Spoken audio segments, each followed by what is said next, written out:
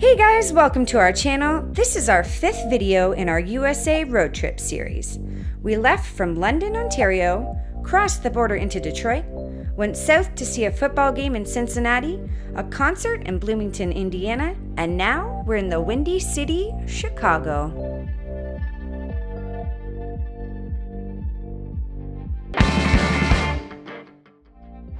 Right, we have made it to the city of Chicago. This is actually gonna be our last city on our road trip series here before we head back to Ontario. Yep. But while we're here in this video, we're gonna be exploring parts of the city and trying to check out a bunch of cool places that are mob related. So the first place we're going is to the Green Door Pub. Green Door Tavern. The Green Door Tavern is located at the corner of Huron and North Orleans, right beside Mr. Beef, the restaurant featured in the new hit TV show, The Bear.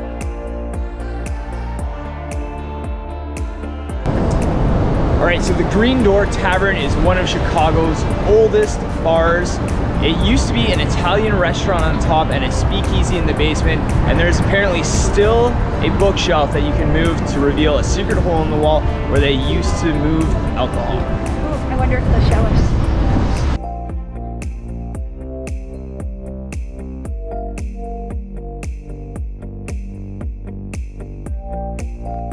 Restaurant opened in 1921, and many of the original bar fixtures are still being used today. The bar is filled with old signs and pictures from Chicago's rich past. If you head down the stairs to the washrooms, you'll see a door on your right at the bottom of the stairs. That's where all the bootleg alcohol came through into the speakeasy during Prohibition days.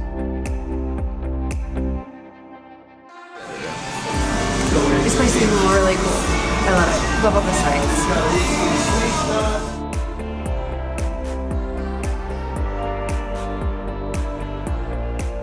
So the next spot we're hitting on today's little tour is a place called Lottie's.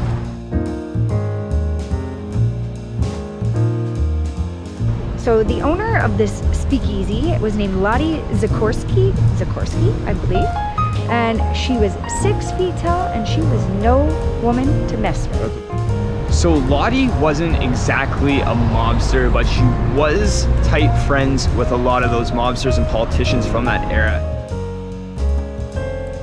Lottie's used to be a grocery store in Prohibition days with rumors of drinking, stripping, and gambling in the basement. Now it's a popular neighborhood pub, which also happens to be used as the bar Molly's in the TV show Chicago Fire. I like it. It's cute. It's not as like old feeling as the last one, but still nice. That was a really cool bar. Now we're on the next one.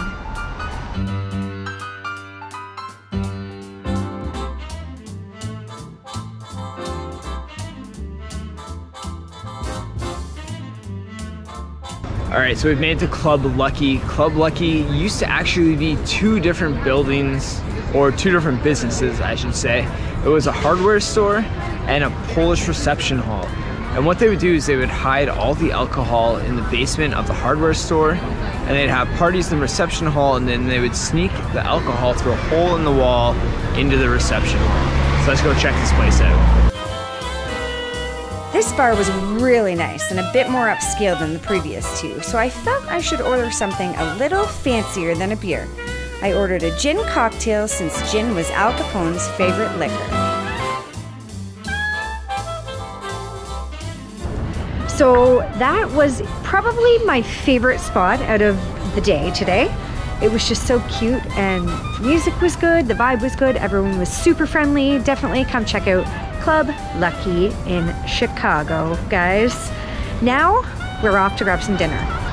All right, jump cut. It's the next day. We ended up getting dinner with our friends Ian and Leah, but we ended up just staying at their house. And we didn't end up getting to any more spots last night, but we are gonna resume our little Mafia tour right now. And we're gonna start with this parking lot here, which is where the St. Valentine's Day Massacre happened. So Valentine's Day 1929, seven people were murdered here from the North Side Gang by the Chicago Outfit, which was Al Capone's gang. So the actual wall that they were lined up against is no longer standing, but it was right about here just at the edge of the parking lot.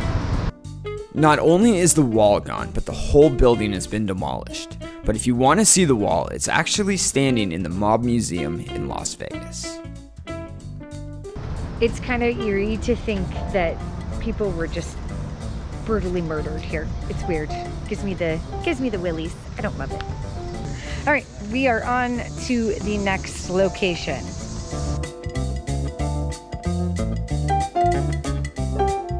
Okay, so we are at the Biograph Theater, and this is the place where John Dillinger was shot down and killed.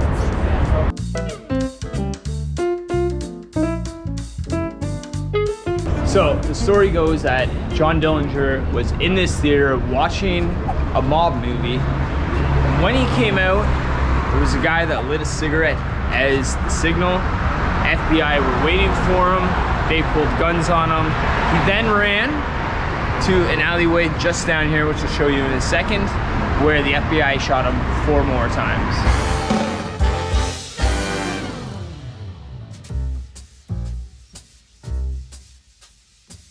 So this is the alleyway. It's only about 10 to 15 feet from the front doors of the theater. But this is where the FBI shot him four more times. And he had a lethal shot right through the back of his neck.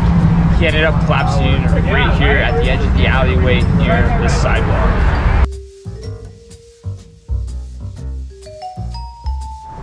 So Lincoln Station, which is a pub right across the road, that used to be a boarding house where a lot of the mob members would actually stay.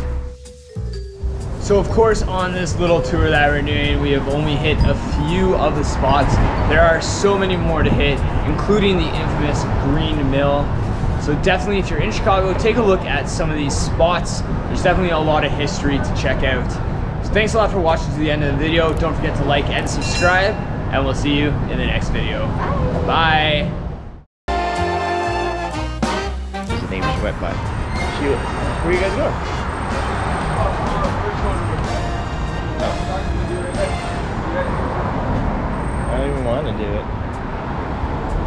Well done. Hello.